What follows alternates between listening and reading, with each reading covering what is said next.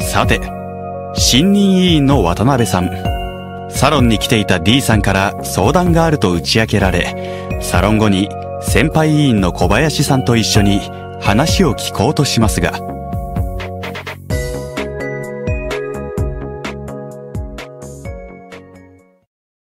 D さん、先ほど相談に乗ってほしいということでしたが、どうされたんですか？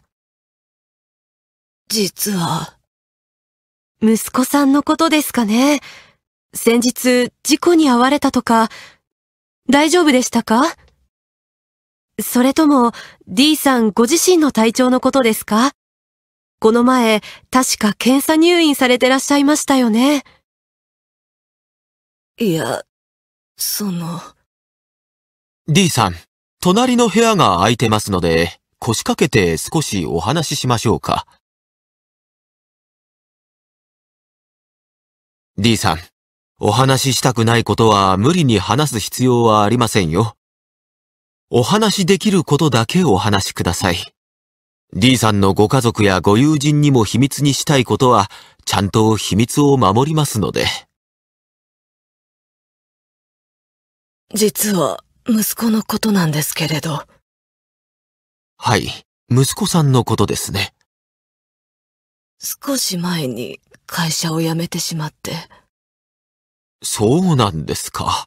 それでどうされていらっしゃるんですか？で、それで、この前事故に遭って怪我をしてから部屋にこもってしまって、どうしていいのかわからなくて、そうですか。息子さんが部屋にこもってしまって困っていらっしゃるんですね。そうなんです。どこに相談してよいかわからなくて、近所の人にもあまり知られたくなくて、そうでしたか。お話しいただいてありがとうございます。どこに相談していいかお困りなんですね。ええ、そうなんです。息子自身もどうにかしなきゃとは思っているみたいなんですけど、私もどうしていいのかわからなくて。D さんも息子さんも現状を変えたいとお考えなんですね。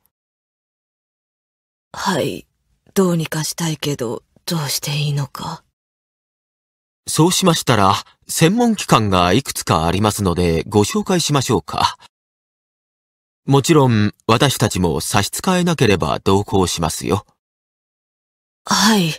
でもご紹介いただければ、あとは私たちで連絡してみたいと思っています。ただ、この間、ハローワークに行くように息子に勧めてみたんですけど、最初から就職の話になるのは、息子も少し気がめいるようで。なるほど。それでは、県が設置している引きこもり地域支援センターはいかがでしょう？引きこもりの状態にあるご本人やご家族の方の相談に乗っていただける専門機関です。D さんから電話して相談することもできますし、息子さんが直接相談することも訪問してもらうこともできますよ。まずは一度お電話してみてはいかがでしょう？そういった機関があるんですね。ありがとうございます。ええ。専門職の方が生活状況など相談に乗ってくださいますよ。また、わからないことや困りごとがあれば、私たちに相談してくださいね。小林さん、今日は同席してくださり、ありがとうございました。ついついお話を聞かなきゃと、前のめりになってしまって。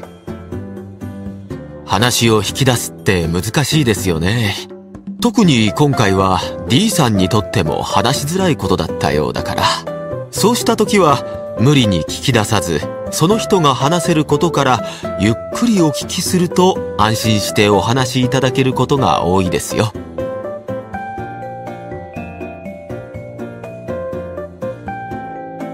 皆さん、どうでしたか？小林さんの話の聞き方には、実は相談技法の基本が詰まっています。どういった点が良かったでしょうか？考えてみましょう。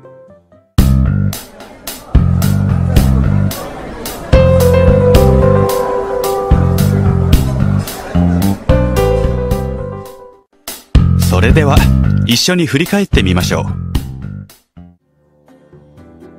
小林さんは D さんとお話しするときに相手のお話にうなずき話を繰り返したり相づちや言葉を挟むことで話を促したり相手の気持ちを推察したり話を要約することで相手が話しやすい環境を作っていましたね。こうした技法は相手の話を聞く傾聴の基本的な技法とされています。また前の事例でも学習しましたが話をする場所をプライバシーが守られ落ち着いて話ができる環境に変えたことも良い配慮でした。渡辺さんは最初相手の話を聞こうとはしていますが急いで聞いてしまったことで打ち明けていただけなかったですね。プライバシーに関わる相談を受けるには信頼関係を築くことが大切です。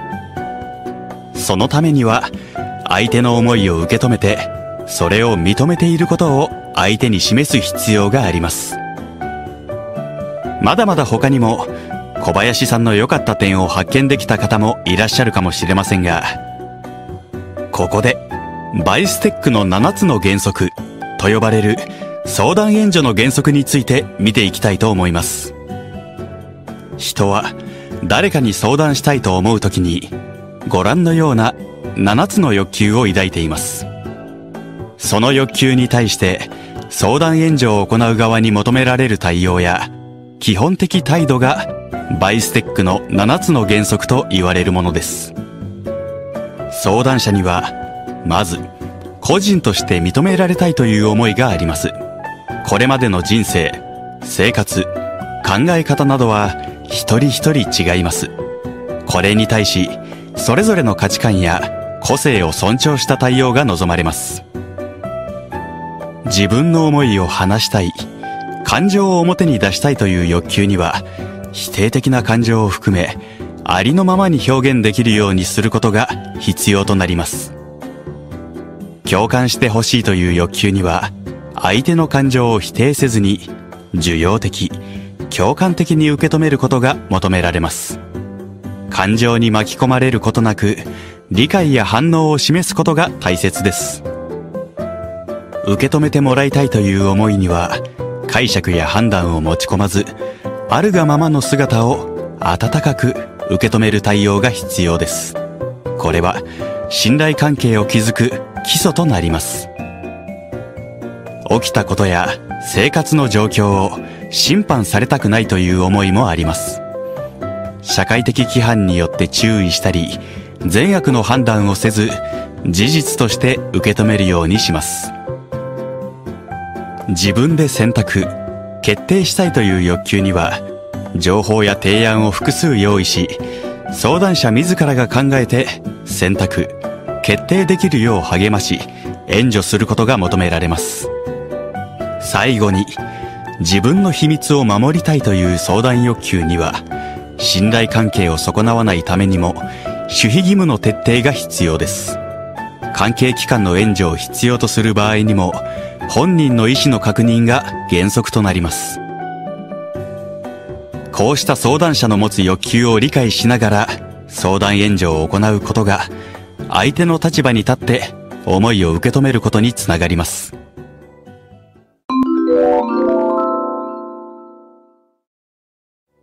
さてそれではこれまでに学んだことを振り返りたいと思います。はじめにきっかけ作りについて学びましたね。民生委員児童委員の皆さんが支援対象者の方と出会うきっかけ作りというのはなかなか難しいものです。地域のイベントなどに参加しまずは地域住民として顔見知りになることから始めてはいかがでしょうか。続いて3つの事例を見ましたが最初の事例1では信頼関係を築くことの大切さを学びました。いきなり困りごとや悩みなどを聞くのではなく自己紹介から始まり話題作りを心がける。そのような関わり方が大切ですね。過度にならない程度に地域の情報をお伝えできると良いかもしれません。いきなり困りごとから聞くのはマナーに反することになります。信頼関係を築くには焦らずに時間をかけて取り組むことがポイントでしたね。事例2では相手の立場に立つことの大切さを学びました。相手をおもんぱかる気持ちがあっても相手の自尊心を傷つける話し方になっていないかプライバシーに配慮した環境で話しているかなど今一度確認をしてみましょう。事例3では傾聴のポイントやバイステックの7つの原則など相手の思いを受け止める技法を学びました。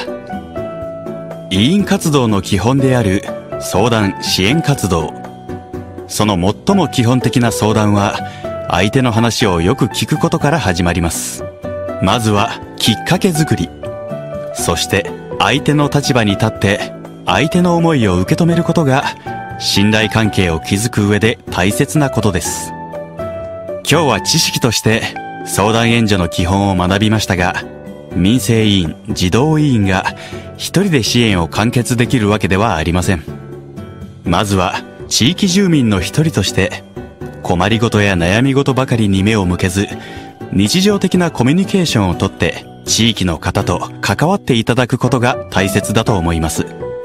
その中で今日の学びを少しずつ実践に移してはどうでしょうか。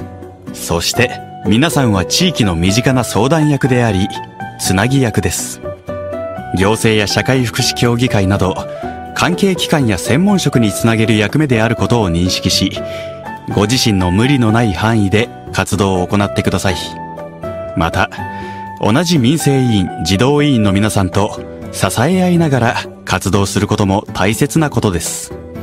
そのことが活動をより活性化させますし活動の楽しさもより大きなものとなります。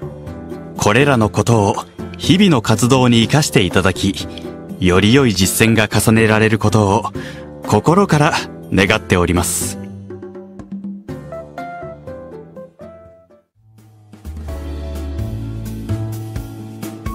民生委員活動を続けていて民生委員の仲間はもちろん地域のいろいろな方と知り合いになることができて自分の生活の幅が広がったよ。そうですね。民生委員児童委員は地域のつなぎ役。一人で活動するのではなく民事協の仲間関係機関や専門職など本当に多くの人と共に活動しますからね。私も民生委員児童委員を始めて自分が住む地域にこんなにも素敵な資源があるんだということに気づくことができたわ。これからは地域共生の時代。地域住民関係機関専門職。さまざまな人や資源と共に支え合い住みよい社会を作るために地域をつないでいく。我々の先輩が100年以上にわたって地域で続けてきた活動は今後ますます重要になりますね。地域をつなぐ民生委員児童委員としていつの時代も変わらずに必要な存在であり続けたいですね。